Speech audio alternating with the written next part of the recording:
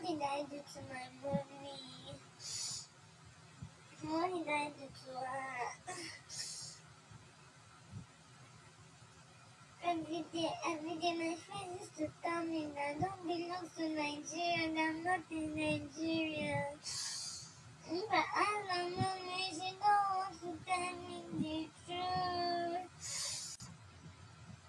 My friends used to tell me that I'm not